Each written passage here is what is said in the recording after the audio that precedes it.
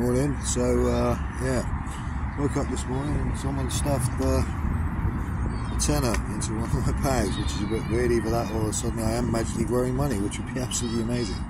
I'd like some for a criminal solicitor to take certain people to court for their criminal offence against me, including all the various unlawful blah blah blah, fraud, use of my credit card repeatedly without me using abusive, all the rubbish. Yeah, you're gonna get it in the next few days anyway. Just now, so people care. Interesting, isn't it? You see that out there? British flag, British citizen, a British adult male, father of three, loving husband, because people don't adhere to my rights as a British citizen. How about some of that on, uh, was it Christmas Eve? I don't know, one day's like the next nowadays. Yeah, well, uh, what can I say? Yeah, the uh, the day's done its usual thing and had an interesting turn, but to be honest with you, I couldn't To way to sort things out now so I can get back to training regularly, get back to building what I'm building. No matter what, I won't back off on this.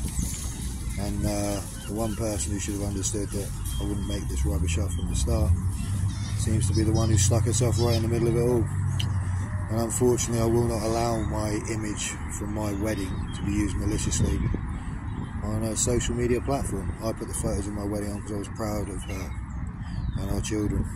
But apparently, uh, in turnabout, I was regularly abused on social media by a certain loving woman, apparently, after her abusing our children and allowing, you know, herself to become under the influence of drugs and endanger our daughter, which is a disgrace. I'm sure she probably didn't understand, but it's highly illegal and could have cost her everything. But me safeguarding her and our children over other people is apparently not what a father and a husband should do in this country anymore. Because if you do, well, they see fit to pull your life apart. So isn't that going to be interesting? Anyway, uh, I'm going to enjoy my coffee, cappuccino. I always love these. I just never used to drink them at home because uh, obviously they were someone else's and it would be a bit unfair. Imagine that. But it's fair for those people to pull my life apart. Interesting, isn't it funny how the laws in this country only work for certain people when it suits them? The rest of the time, um, yeah, it doesn't. Uh, oh well. Uh, I would say Merry Christmas, but uh, it's the third one, you know, miserable as hell.